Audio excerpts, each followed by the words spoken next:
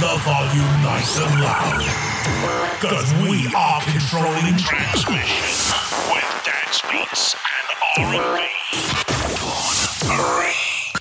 You're in the mix with Lil Drummer Girl. With your host, Dawn Marie. In the. Hey, it's Dawn Marie here. Welcome to another episode of Little Drummer Girl. Tonight I'm backstage with Modest Mouse drummer Jeremiah Green. He's been very decent to have me back here before the show and give me an interview. So without further ado, here's Jeremiah. So how you doing, Jeremiah? Doing good. Hot. So tell me, you're originally from Hawaii. um, no, I was born in Hawaii, Oh, but okay. we left maybe when I was two or something. My dad was in the military, and yeah, he left the military around the time when I was born. We moved to Washington. Oh, so you spent most of your life in Washington State. Mhm. Nice. Like Eastern Washington, a place called Moxee, where they grow hops for beer and apples to eat. and then, um, then we moved to like outside of Seattle, like uh, suburbs of Seattle. Yeah, nice. and that was cool. So you still live out there now? I live like in a, like two hours northwest of Seattle, like in this small town. It's like maybe by Victoria, Canada Oh, wow. closest or Port Angeles and these places that people have probably never heard of. No, it sounds beautiful though, because it's supposed to be really pretty out there.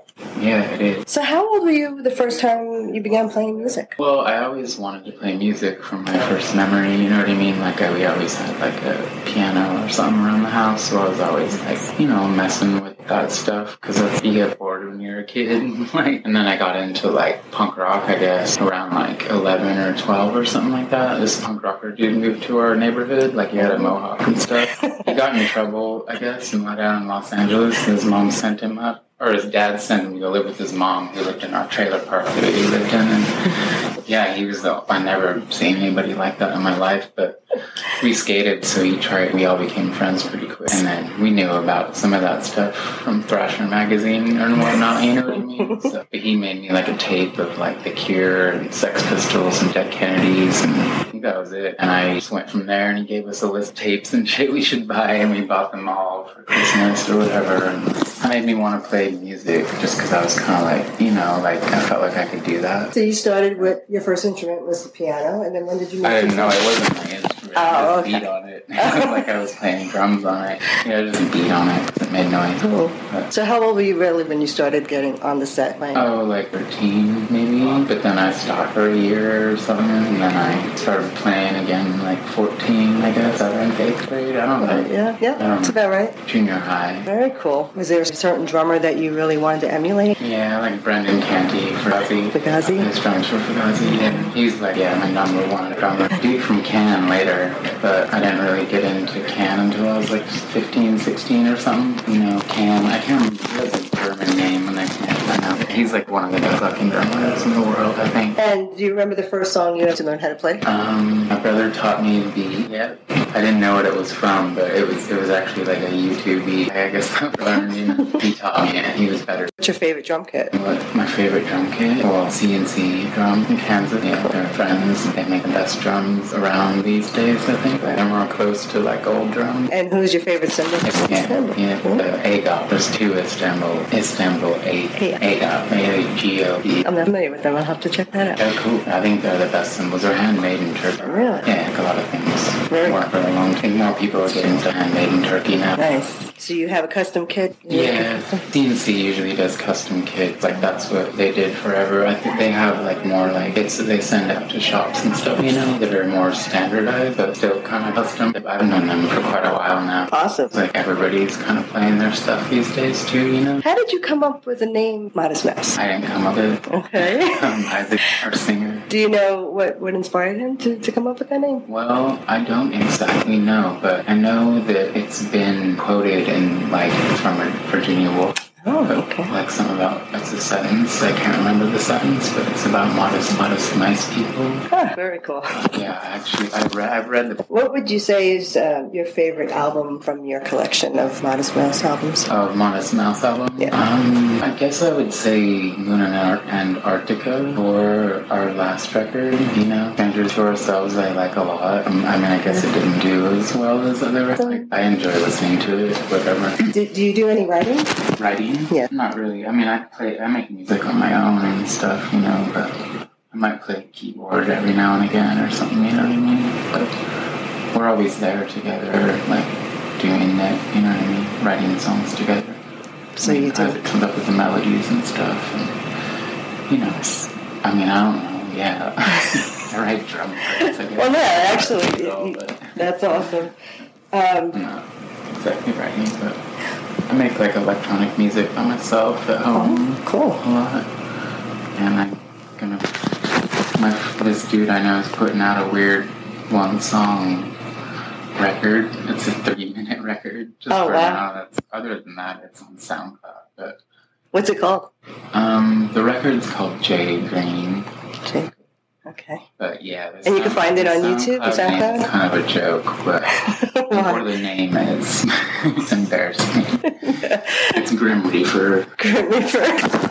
Two M's. Yeah, it's silly. It's some graffiti from um, the adult neighborhood I used to live in. Crappy graffiti on the wall that said Grim Reaper with this. Like, it was just so dumb. It always stuck in my mind. But That's cool. I think I'm just gonna call it Jay Green. I like Grim Reaper. It sounds fun. Catchy, you I think know? I'll do both. Maybe I'll do AKA.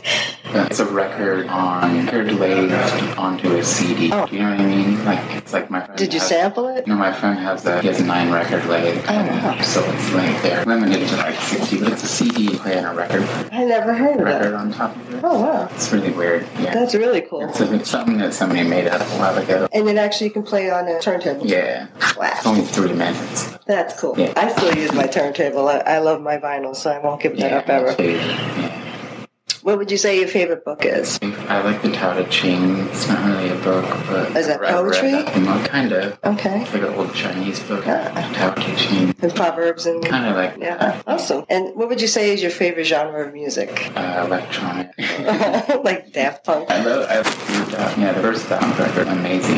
Yeah, was cool. I mean, I like that. They're great. Yeah, I like, I like a lot of Aphex, but I can't remember all the names. How many days a week do you practice? I practice like for about 10 minutes a day, 10 to 15 minutes. Wow. Sometimes I'll sit down for like an hour, but I'm usually just playing along with other Very music, cool. you know what I mean? Like in the early days when I was in school and stuff Mm-hmm. with Modest Mouse, like we would practice once a week, twice a week, but I didn't have a place to play. So, you know what I mean? Like I couldn't play in the apartment or whatever, so yeah, I would just play when we practiced for like two hours a week, maybe. Wow, okay.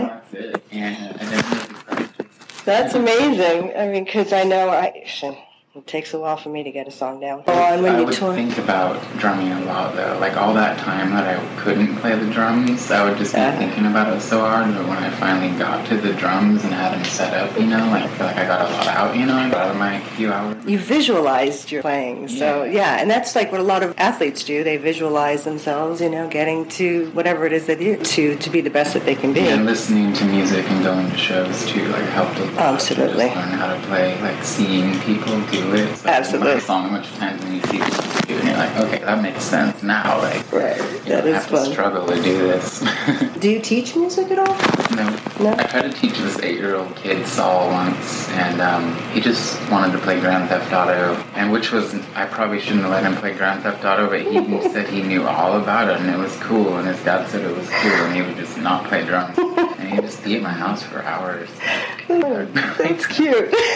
hoping that he would just go beat on the drum. Dad lived across the street, so it wasn't like, you did a favor for your neighbor. That's that's pretty cool. Do you ever get nervous before going on stage? yeah. You do. Yeah. What do you do to calm the jitters? I don't know actually. I mean, I try to just like stay calm for like a half hour and like not look at my phone or like you know. But I don't know what I do. I stretch a little bit. I take some herbs uh-huh.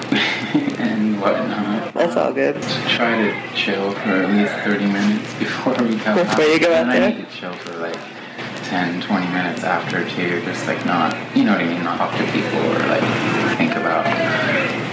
Yeah. yeah, I it's a lot of energy you have, and then you're up there playing for No meditation, but the same idea. exactly. And even if it's just like Walking meditation. breathing and just relaxing, it's a beautiful thing. Uh, did you ever have an embarrassing moment on stage when you were playing? I'm sure I have. I can't remember. I mean, like, I don't know if people would notice necessarily. I have a friend who actually had diarrhea and he pooped his pants on stage Oh. somewhere. That didn't that That's happen not good. That would be lame. Um, that would be just like fun. snot coming out of my face and not being able to wipe it off because I'm playing drums. I don't know. It's it's a really strenuous. And sometimes when we play during the day, I feel pretty self-conscious. Like I'm just like, you know, sweating. Like yesterday, in Miami it was pretty hot and it was light out, and they're just like, I am, I look like shit right now. I really don't want to.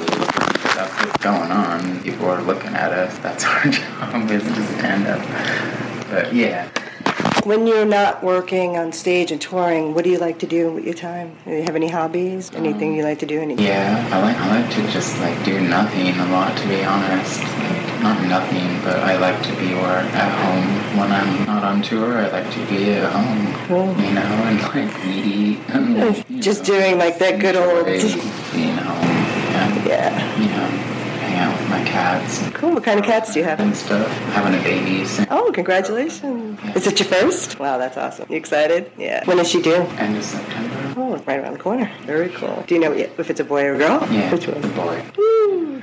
nice. Congratulations. That's really. And I draw. Oh, you do? But Okay. I take photos, but it's not like I'm super serious. No, but that's the fun part because it is a hobby, so you don't have to stress over it, and it doesn't have to be perfect. And I tell a lot of people that when I'm coaching people, I say find even when you work a full time job and it's you know nine to five or whatever it is, and I just say you have to find your little creative outlet. You know, even if it's just like you say, you just like to photograph things. You know, go for a walk, take pictures of nature, whatever it is. Try to find bliss because sometimes you know the stress of the day to day. It'll weigh you thin, and you know, then you get burnout, and so uh, it's nice. But when you have a tour going on now, how long is the tour going to happen? Um, it's till the 31st, I believe. Of July? show. Yeah, Okay. I believe so. And how long have you been touring already? This is our ninth show. Oh, wow. I'm not good with this stuff. Um, we left like the end of June, you know, like the last June 27th, maybe. Okay. We got like 20 something days left, right? What are you up to after tonight? Tonight? Good question. I honestly just go on tour. I'm like, I know when my the plane is leaving to go Atlanta, Georgia, Atlanta. Nashville, Columbia. We're not playing in Nashville. And then Maryland, and New York, Philadelphia, Nashville. Oh wow, sounds like a nice tour. Texas, two shows in Texas. Air, two shows, no, no. Arizona and a bunch of shows in California. Wow. Inglewood, New Jersey? Inglewood. Oh well, there's an Inglewood, New Jersey. Inglewood, California. Okay. This might be where Dr. Dre might be from. Oh yes, Dr. Dre. I helped give him licenses on samples way back when in the '90s. Uh, doesn't he do his own? Like he doesn't. He like takes. The, he redoes the sample? He would take the it. song, like he would make his original song, and then use like the bass line off of an original music, Oh, okay. music song composition, and then create his own little thing. But uh, yeah, he he was one of the one of the first ones out there doing that. He is. He really is. So, if you ever make a mistake during a performance, how do you handle it, and how do you pull yourself out of that? make a bunch of noise really quick and stop really quick and just like you know what I mean? Or I'll just like do some I don't know. I really don't know how to explain that but yeah it happens. It happens, Just- okay. it's like I've gotten better at it. You know what That's I mean? Well, you guys have been together, like, was it 22 years? yeah like we all know if something is off pretty quick and we can like sometimes we just like sometimes we'll just stop really quick and it's like hopefully not that notice Well, usually the audience will never know. You guys will know, but no one else will I can know. like hit some cymbals really loud or something What's your favorite curse word? Favorite curse word? Mm-hmm. Oh, they're all bad words. I don't know. I wish I didn't curse. Do you have a favorite? Ass, pretty good word. Ass, donkey, ass, turkey. That's a real. Turkey. Are you a jive turkey? yeah, that was a It's good even 70s. worse. Uh, Um, son of a goat, horror. I like that. I never heard that What is that? How do you say that? Mamma mia la puta or something like that? Putana. Is that how you say Putana, whore? son of a goat? Well, a putana is a whore in Italian. Oh, okay. That's all I know. Doesn't that mean like, oh maybe that's the son of a goat? I can't remember. Never mind. But I like that. Do you uh, prefer cars or motorcycles? Cars, safe cars. And Motorcycles though, nothing against them, but they're dangerous. they are dangerous. They can be. Um, do you have any words of wisdom to future artists looking to get into the business out there now? Um, I guess be real. Like, don't like try to be something you aren't. Like, what, figure out what it is you like and like what you are, and do that. You know what I mean? Don't pay attention to the world so much. You know, like who cares what the up to? Like, you gotta do your own thing. You know, people think it's stupid. Like, I know when I started playing music, I don't think people liked at all what we were doing. You know what I mean? Like, I remember people leaving the fucking room, like the whole like. No way. Like, you know, but I was like, whatever, you guys, I don't like what you guys are doing because it's exactly like what other people are doing, and I don't necessarily want to see that. You know what I mean? I don't see you, but you know what I'm, I don't, yeah, I guess just think for yourself. Now that's very important to be true to yourself. I think, and no matter what you do in life, you have to be You true to yourself. You don't have to be like a fucking perfect musician, you know what I mean? You just have to get whatever it is you feel like you want to get across, you know? Like, you just gotta get that across. Like, don't worry about being Guitar Center's best drummer of the, of the 2016. Mm-hmm. I mean, personally, I don't like the way that sounds at all. Like, it sounds bad. You know what I mean? Like, just some guy, like, just slowly. He's the stuff, perfect- and, Like, it's like, ugh. Right. Like why judge? It's very judgy. Yeah, you shouldn't. Music isn't. Yeah, music is a lot of a lot of people, so it's kind of like pointless to judge it. You know what I mean? Because other people don't really care. Like if you come in a room and say some song is stupid or something like that that somebody's listening to, like they don't give a. F- I mean, you know what I mean? They're like, you might make them not like that song, or it's, it's just like, who you don't like this. But Knowing what you know now, would you do it all over again? Or would you change anything? no, I mean, I don't know. Actually, I really don't know. I mean, yeah, I'm sure there's plenty of things that would change if I could change stuff, you know, just stuff. I don't think about that. All right. Well, Jeremiah, thank you so much for taking time out tonight. I mean, I know you have a show coming up, so I want to let you get to the things you need to do, and I don't want to hold you up, but thank you so much for being here tonight. And Thank you. I wish you great luck with the show, and I can't wait to hear. Cool. Thanks a lot. Nice to meet you. Well, thank you for joining us again. And if you like this episode, please share it with your friends and subscribe. We're also on Stitcher Radio and SoundCloud. And don't forget to check out the footage from the show at my YouTube channel at Little Drummer Girl. That's L A L Drummer Girl. I will attach the link, the show notes. Live the life of your dreams and leave a trailblazing behind you. Till the next time, I'll catch you on the flip side. Namaste.